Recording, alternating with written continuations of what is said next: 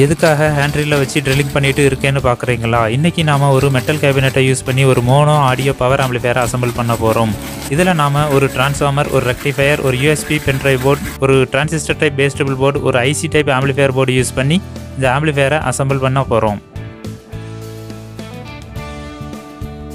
Full video பார்க்கணும்னா இந்த சேனலை சப்ஸ்கிரைப் பண்ணிக்கோங்க. முதல்ல கேபினெட்டில் காம்பனன்ஸ் வச்சு மார்க் பண்ணிவிட்டு ட்ரில்லிங் முடிச்சுட்டு அசசரிஸை ஃபிட்டிங் பண்ணிக்கலாம்.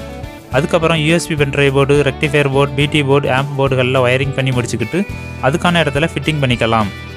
கடைசியாக volume controller and volume controller நாப்ஸை fix பண்ணிக்கலாம். இப்போ ஆடியோ ஆம்பிளிஃபையர் ரெடி ஆயிடுச்சு சவுண்ட் டெஸ்ட் பார்க்கலாம்.